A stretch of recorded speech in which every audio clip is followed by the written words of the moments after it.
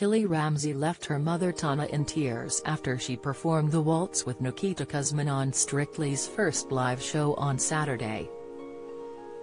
Tana, 47, was spotted in the audience wiping her eyes after watching her 19-year-old daughter perform the dance, while her husband Gordon wished Tilly good luck on Instagram. Tess Daly told Tilly after the dance, that was mesmerizing. You're the sweetest.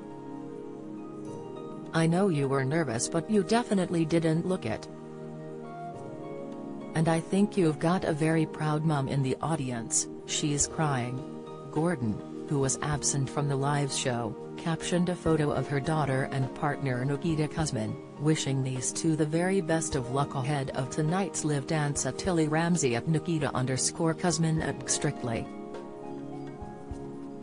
So proud of you Tills, love you from your dance coach extraordinaire dad, heart, heart, heart. Professional dancer Nikita, 23, made his debut on the show performing the dance to Consequences by Camila Cabello with the budding chef. New judge and longest-running professional dancer Anton Du was impressed by her performance and dubbed it gentle, romantic, and sophisticated. Craig Revel Horwood, however, thought different and said of the dance, it lacked for me expression in the arms, but you told a V-sweet story and it was believable and I appreciated that.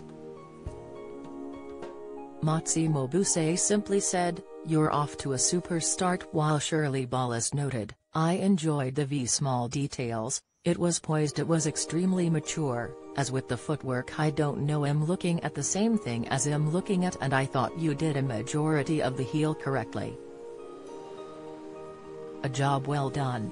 She earned herself a score of 21 out of 40 after her first dance. The series kicked off amid a COVID-19 crisis after two pro dancers were reported to have refused the vaccine, sparking chaos behind the scenes as some celebrities were reluctant to be paired with them. Dusting off their paddles were returning judges Shirley, 61, Craig, 56, and Motsi, 40, and Anton Du Beke, 55. Ahead of the launch of the new series, it was revealed that three professional dancers on Strictly Come Dancing have refused to get COVID jabs, leaving some contestants reluctant to pair with them.